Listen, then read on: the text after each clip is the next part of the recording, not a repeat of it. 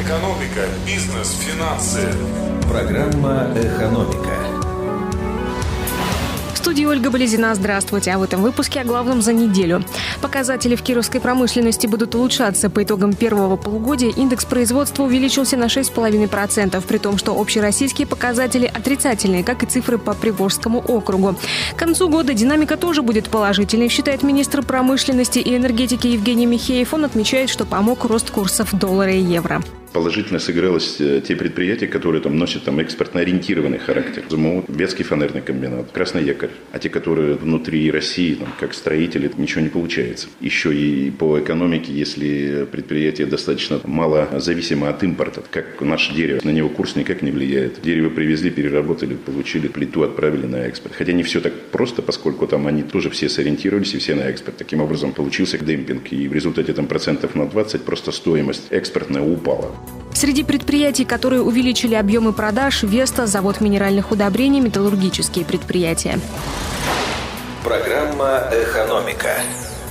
Продажи дорогих смартфонов растут несмотря на кризис. Они в первой половине 2015-го увеличились в России на 22%, в денежном выражении на 55%. Рост произошел в категории телефонов дороже 25 тысяч рублей. Это же отмечает и директор кировского филиала МТС Максим Исаев конкурентная ситуация в розничных сетях разных операторов привела к тому, что мы с удовольствием наблюдаем рост практически в два раза продаж к прошлому году дорогих смартфонов. В апреле этого года у нас была новая стратегия принята. Мы опустили цены практически до 30%. Мы видим всплеск продаж с апреля. Мы как оператор заинтересованы в проникновении в базу таких устройств. Абоненты начинают пользоваться мобильным интернетом. Доходы от мобильного интернета ежегодно растут, а доходы от голоса снижаются. Отмечу, что общие продажи мобильных телефонов упали. В первом полугодии в России продано 17 миллионов трубок на 116 миллиардов рублей против 19 миллионов устройств на 113 миллиардов за первые 6 месяцев 2014 года.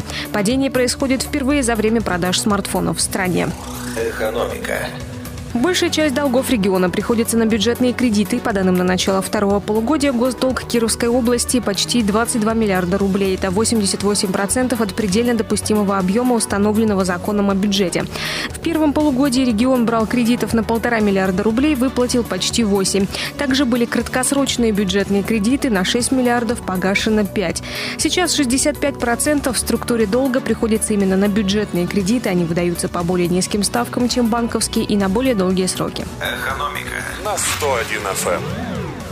К другим новостям. Кировчане перешли от потребления к сбережению. Это следует из статистических данных, обнародованных правительством. Сейчас кировчане направляют на потребительские цели 71% своих расходов. В прошлом году было 77%. Сумма вкладов в банках увеличилась за год в несколько раз. Правда, для сбережения остается все меньше средств. Реальные доходы жителей области снизились на 2,5%. Обязательной индексации зарплат в России не будет. Правительство не поддержало законопроект, предложенный ЗАГС Собранием Карелии. Предлагается Предлагалось обязать всех работодателей повышать зарплату не реже раза в год на процент роста потребительских цен. Но правительство заявило, что на индексацию для бюджетников денег нет, требуется 40 миллиардов рублей ежегодно. Кировские производители продают ритейлерам продукты по завышенным ценам. Об этом заявляют представители сети «Магнит». Кроме того, развивать отношения мешает упрощенная система налогообложения у некоторых производителей. Из-за этого магазины не могут предложить покупателям конкурентные цены. Также не соблюдаются стандарты фасовки и маркировки продукции. Экономика. Далее несколько цифр. 118 тысяч рублей – средний размер долга кировской семьи перед банками. Три предприятия обеспечили рост налога на прибыль в регионе. Это завод минеральных удобрений «Алмаз Антей» и «Авитек». Полмиллиона рублей стоит научиться водить самолет в Кирове. И о валютах на 21 августа доллар стоит 66,96, евро 74,47. Ольга Близина, новости экономики в Кирове. Программа «Экономика» на 101 FM.